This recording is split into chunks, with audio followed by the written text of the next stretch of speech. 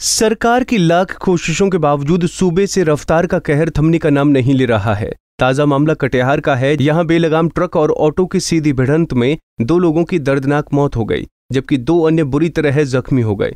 गंभीर रूप से जख्मी लोग अस्पताल में ज़िंदगी और मौत के बीच जंग लड़ रहे हैं। दरअसल पूरा मामला ज़िले के मनिहारी थाना क्षेत्र का है। यहाँ कटिहार मनिहारी मार्ग पर पागलबाड़ी गाँव के पास एक अनियंत्रित ओवरलोडेड ट्रक यात्रियों से भरी ऑटो से आमने सामने जा टकराई। टक्कर इतनी भयावह थी कि ऑटो के परखच्चे उड़ गए और ट्रक पलट गया और गिट्टी ऑटो सवार यात्रियों पर गिर पड़ी, जिससे मौकाए वारदात पर दो लोग गिट्टी में ज़िंदा दफन हो गए, जबकि दो बुरी तरह से जख्मी हो गए। घटना के बाद स्थानीय ग्रामीणों और जेसीबी की मदद से गिट्टी से दबे शवों को बाहर निकाला गया। इस दर्दनाक हादसे के बाद परिजनों का रो रो कर बुरा हाल है। ये घटना साढ़े नौ बजे हुई है। ये ओवरलोड ट्रक जो है एक टेंपू को धक्का मार दिया। ये टेंपू मेदिनीपुर से गई हुई थी कटिहार जो कि दो लड़का कोटा ये कोटा से प, मतलब पढ़ाई करके आ रहा था। उसका भाई लाने के लिए गया हुआ था उसको तोकीर आलम उस लड्डू।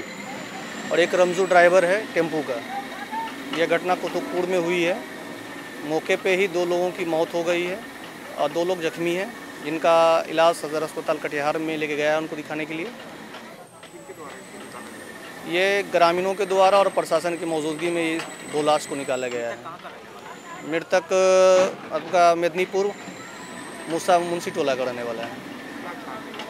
हम लोग चाहेंगे कि मुआवजा सरकार इन दोनों परिजनों को दे। इस घटना के बाद लोगों का गुस्सा स्थानीय प्रशासन के खिलाफ फूट पड़ा और लोग टायर जलाकर प्रदर्शन करने लगे। इसके बाद मौके पर पहुँचे स्थानीय पुलिस और प्रशासनिक अधिकारियों की मदद से थोड़ी देर बाद सड़क जाम को खत्म कर शव को पोस्टमार्टम के लिए कटिहार सदर अस्पताल भेज दिया।